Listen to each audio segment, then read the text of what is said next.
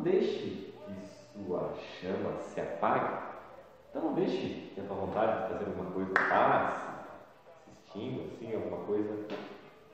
Não deixe o vento soprar contra a sua chama. Beleza? Então, essa frase aí, a gente começa a nossa aula de hoje.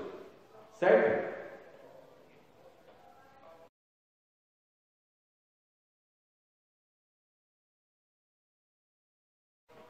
Então, good morning. Agarra a nossa apostila do mês. Vamos ver o que a gente fez e vamos partir para frente aí, ok? Terceirão. Aula passada, demos início aí um pontapé nos nossos amigos do passado simples.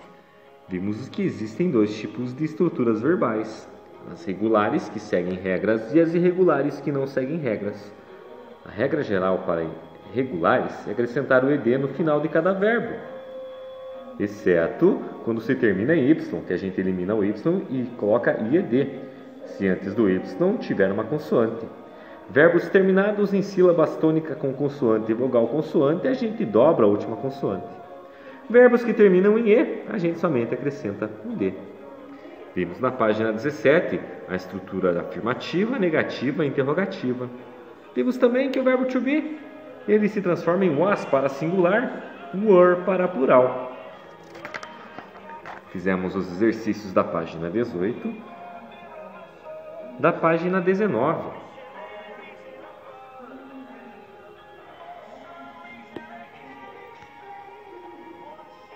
E hoje Aqui estamos nos adjetivos comparativos. Comparando duas coisas.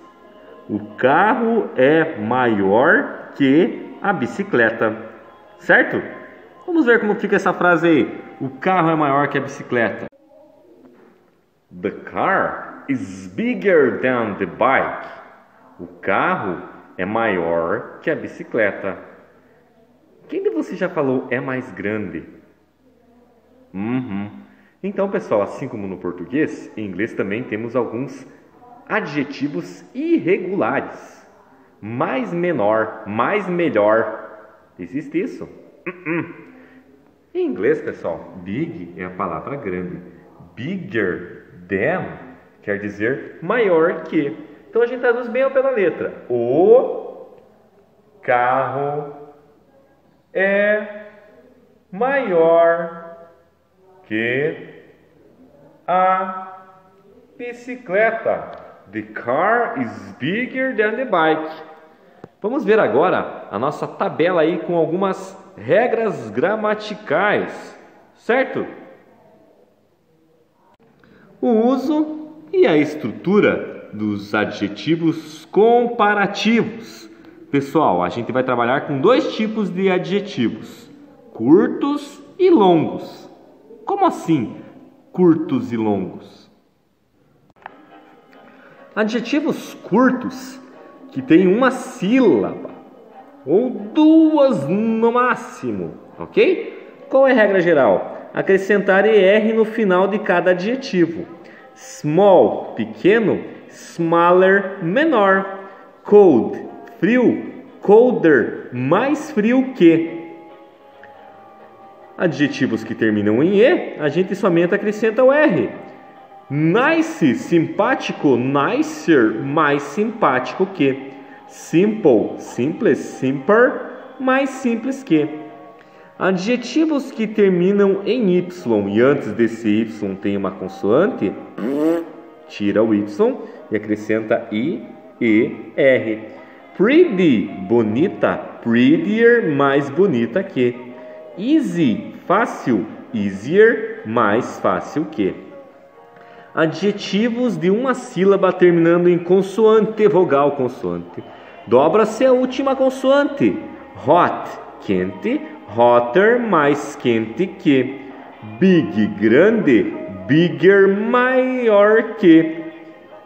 Adjetivos grandes aí, compridos, extensos a gente não mexe nesse adjetivo, a gente só coloca o more antes do adjetivo. Beautiful, bonito, more beautiful, mais bonito que. convenient, more convenient. Ok? Como eu falei para vocês nos irregulares, a palavra good, bom, bad, ruim, far, longe, são adjetivos irregulares. Em vez da gente falar gooder, a gente fala better. Good, bom, better, melhor. Em bad, em vez de falar better, a gente fala worse. Bad, ruim, worse, pior que. Far, longe, further ou farther, ok? Para comparar pessoas, coisas, lugares que têm o mesmo grau, a gente usa o adjetivo sem flexionar ele. Por exemplo, ó, a minha casa é tão grande quanto a deles. Hoje está tão quente quanto ontem.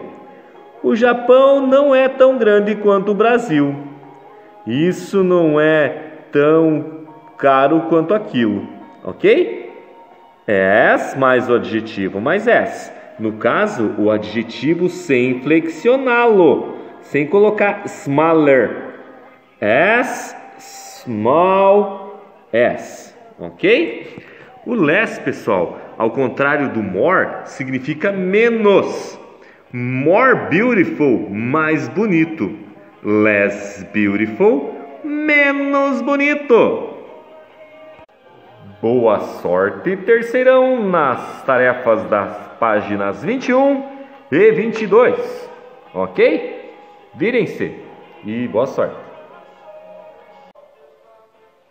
Então, pessoal, tenta fazer as atividades, completar, tirar foto e mande no grupo aí que teve muita, muita gente que deixou páginas em branco.